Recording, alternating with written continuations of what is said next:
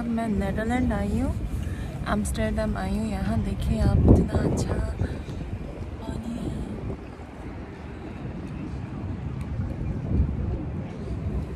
बहुत प्यारा आज अभी अभी पहुँची हूँ तो सामान होटल में रख के। निकली हूँ तो रात है, शाम हुई हुई है, लेकिन शाम के जो नज़ारे हैं ना, बहुत ही प्यारे हैं। आप देखिए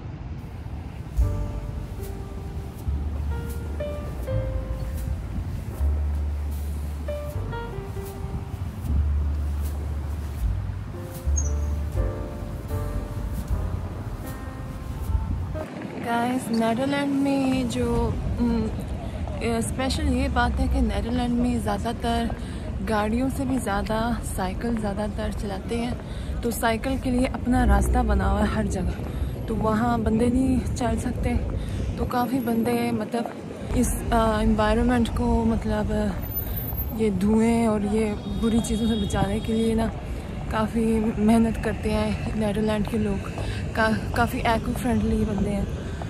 तो अब देखें यहाँ शायद रेड रेड डिस्ट्रिक्ट है। रेड डिस्ट्रिक्ट जहाँ प्रोस्टिट्यूट होते हैं लेकिन अ, ये भी एक नेदरलैंड का ना बना हुआ लैंड लैंडमार्क मतलब बहुत मशहूर बना हुआ है। इन्होंने गवर्नमेंट ने बंद नहीं करवाया एक जगह मतलब एक टूरिस्ट प्लेस बना दिया है। इसको एक्नॉलेज किया कि एक टूरिस्ट प्लेस है। अब देखिए मैं यहाँ से गुजरती हूँ।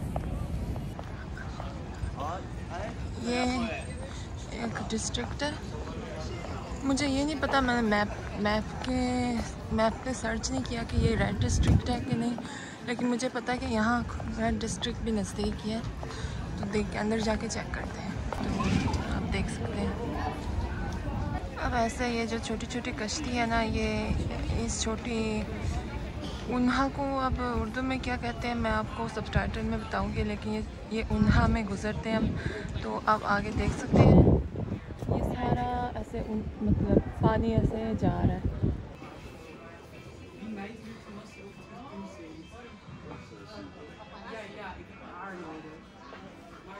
एलपी की एलपी का शॉप है तो मेरे पास एलपी की मशीन नहीं अगर होती तो मैं लेती आबा। आबा भी बहुत पसंद है।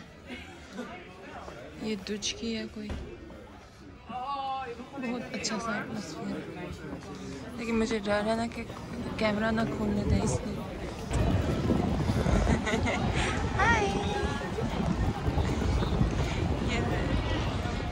इसको शायद इंसान पसंद है। अब देखिए ये सारा रेड डिस्ट्रिक्ट है मुझे अभी पता चला। शॉप में काफ़ी वीडियो के लिए मैं वीडियो नहीं बना पाऊँगी क्योंकि शॉप शॉप में मतलब लड़कियाँ मतलब समझ जाएँ। तो अब उनके लिए डिसरिस्पेक्टफुल होगा। वीडियो बनाऊँ काफ़ी रोमांटिक सा मूड है। लड़का भी अजीब सा, लड़का नहीं कोई बंदा है। डिस्ट्रिक्ट से देख के अब यहाँ बाहर आई हूँ। कोई अजीब सा मुंडा पीछे पै गया ते अब ये देखें क्रिसमस ट्री बहुत प्यारा दल दिख रहा है।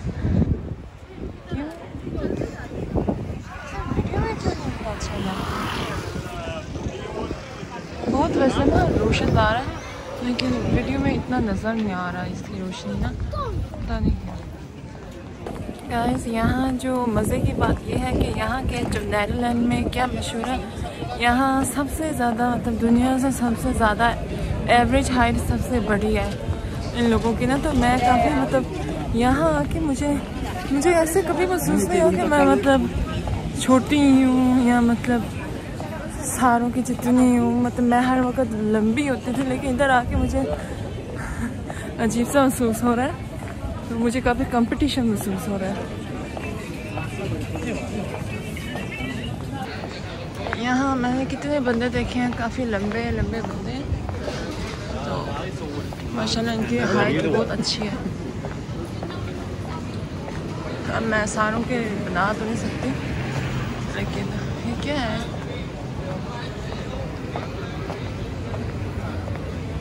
बहुत प्यारा दिखे आप ऐसे कोई हेलोइन की कॉस्ट्यूम प्ले भी हो रहा है यहाँ। कॉस्ट्यूम की दुकान है। ये लेकिन यहाँ यहाँ जब आप लोग सैर करने आएँगे ना तो काफ़ी थोड़ा बच के रहना। क्योंकि कोई कोई कोई कोई ना मतलब ऐसे के लड़के होते हैं मतलब ना जब थोड़ा सा टीजिंग करते हैं। लेकिन इनको बस इग्नोर कर दो। कौन सी जगह है वैसे? सबसे बड़ा ट्री इधर शायद लगा हुआ होगा। मुझे ये नहीं पता। यहाँ आप डिपार्टमेंट स्टोर में आए हैं।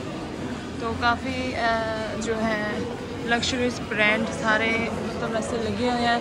लेकिन इनकी ये खास बात है कि ये इन्होंने सारा डिस्प्ले किया हुआ है। ओपन ओपनली इन्होंने डिस्प्ले किया हुआ वैसे तो हर दुकान मतलब आप जाएँ तो वेट करना पड़ता है, अंदर जाने के लिए भी काफ़ी सिक्योरिटी होती है, लेकिन यहाँ ये है कि मतलब सारों ने मतलब ऐसे लगाया हुआ है, बस आसानी से बंदा देख भी सकता है, अंदर जाने के बजाय भी। तो ऐसे ना, लेकिन डिपार्टमेंट स्टोर जैसा कोरिया का है ना लग्जरियस मैं कहती हूँ, मैंने इंग्लैंड में भी नहीं देखा, और यहाँ भी तो इतना नहीं है लग्जरियस लेकिन फिर भी आप देख सकते हैं कि हाँ ये बात है कि सारा कुछ आप देख सकते हैं पहले ये आ गया वैलेंटिनो वैलेंटिनो के वैसे मेरे पास इतने पैसे नहीं है, मैं नहीं ले सकती। मैं बस देख सकती हूँ।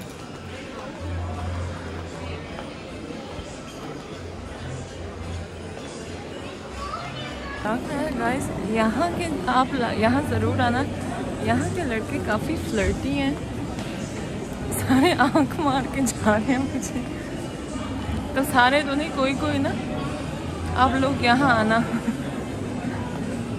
ठीक है? तो शायद लंबी हुई इसलिए आपको आने, पता क्या था।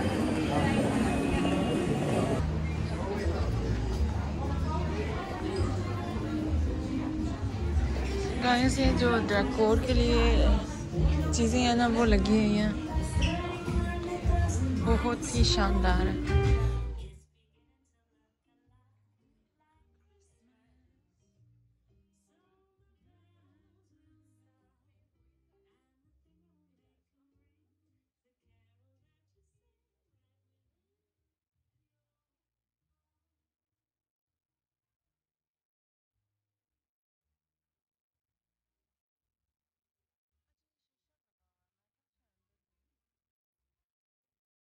मेरा ख्याल है मैं कॉफ़ी लेके ना बाहर ही बैठ सकती हूँ। जहाँ क्रिसमस ट्री की सजावट है ना, वहाँ बैठ सकती हूँ। तो काफ़ी अच्छा है। यहाँ से ऑर्डर करना है कॉफ़ी। यहाँ आठ बज रही है ना। घंटी बज रही है। और मैं यहाँ बैठी हुई हूँ।